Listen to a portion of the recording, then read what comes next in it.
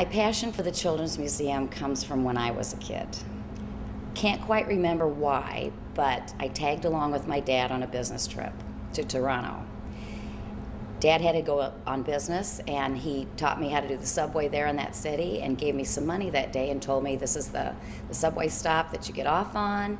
There's shops, there's, mu- there's museums, there's all kinds of things to do. And I was to meet him at a certain time at the end of the day. And I got off on the subway stop, and I don't know that they called it a children's museum, but it was some kind of a museum that I went in there at age, I don't know, 13, 14, 15, and never left the building.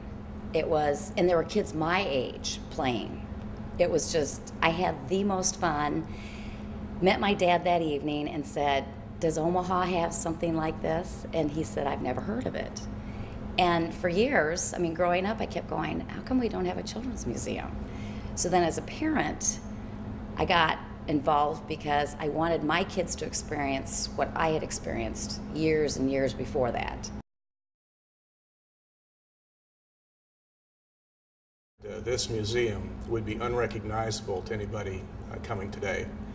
It was uh, many of the vestiges of the old car dealership were still here, and Sandy was part of the board at the time, and we'd meet late in the evening trying to decide if we wanted to have that first display, our huge expenditure for Omaha.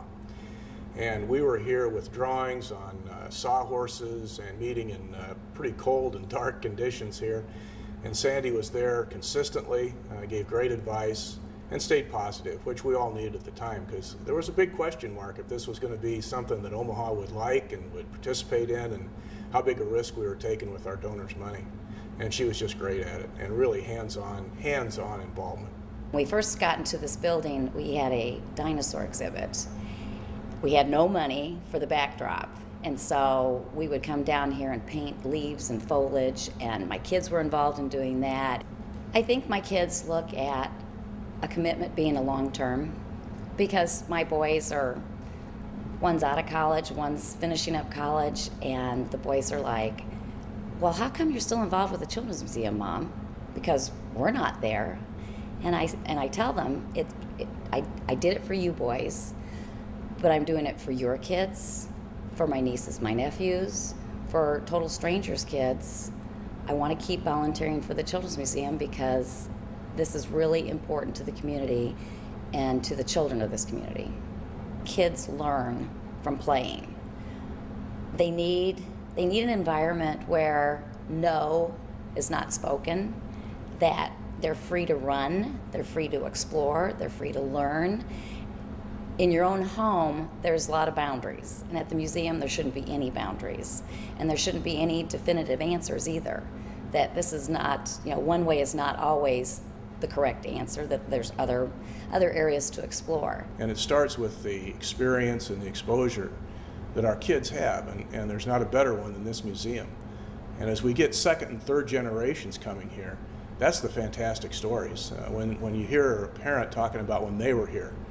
Uh, so we're getting into that second and third generation, and that matches so well with what we need for our community. We have filled this building and we filled it with traveling exhibits, we filled it with water play, we filled it with so many more hands on than what we had before. And it's fun to watch the kids just, they, they can't stop. They turn around and want to go to the next thing and the next thing and the next thing because there's too many exciting things for them to, to look at, to explore, to play. It's fun it just irradiates from her every time she talks about it and that that doesn't come with every volunteer in every situation. And she is um, loves this place and and always will. She's a true believer. And true believers are so hard to find in the world but sandy's one of them she believes in the mission of the children's museum. She believes in the children they serve.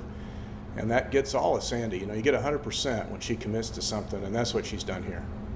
The museum is such a wonderful place to come and visit. And I think it will be Sandy's legacy for all of her hard work and efforts that she put into this museum. Um, it will show all of the years of dedication and commitment that she has. And it will be here for the children of Omaha to enjoy for many years to come. You know, Sandy, um, this is a special day for you. And I really want to give you a personal thanks from my heart, uh, from all the work that you've done in the community and the times I've been with you working on those projects and watching you lead us forward. Keep going. Don't stop. Uh, we need you, the community needs you, and thanks so much. I don't think we're done growing. I think that the museum needs to stay as young as as the kids are, and kids grow all the time. And the, there there are no limits to what we could do at this children's museum.